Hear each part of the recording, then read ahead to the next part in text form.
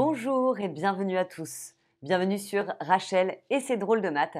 Aujourd'hui, petit tuto sur la calculatrice Casio FX92 et on va parler des différentes écritures d'un nombre. Alors commençons d'abord par vérifier que votre calculatrice est bien paramétrée. Je vais vous demander d'aller dans Seconde, puis Menu config, et ensuite d'aller sur le petit 1, Saisie résultat. Là, vous avez quatre options possibles.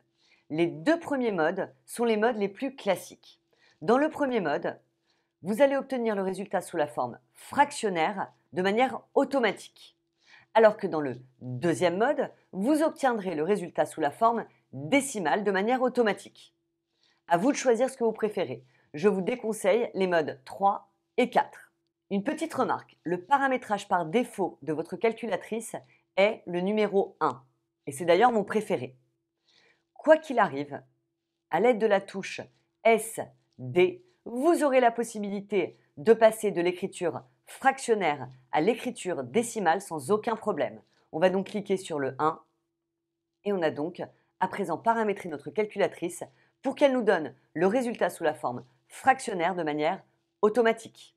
Une deuxième petite chose à vérifier, vous allez aller dans Seconde, puis config. Puis, vous allez aller sur le 3. Et là, vous allez vous assurer que vous êtes dans le mode 3, norme, et sélectionner le 2. Cela vous permettra d'obtenir des résultats sous la forme décimale, même s'ils sont petits. Par exemple, si vous tapez 1 sur 10 000, vous obtenez le résultat comme on lui a demandé sous la forme fractionnaire. Et si vous cliquez sur SD, le résultat apparaît sous la forme décimale, même si le résultat est très petit. Voyons à présent comment déterminer l'écriture fractionnaire d'un nombre. Prenons un exemple. Si je vous demande de calculer 1255 plus 259 quarts, vous avez ici la touche magique avec le carré noir sur le carré blanc. Vous écrivez au numérateur 259, vous utilisez la petite flèche vers le bas et 4 au dénominateur, puis vous exécutez.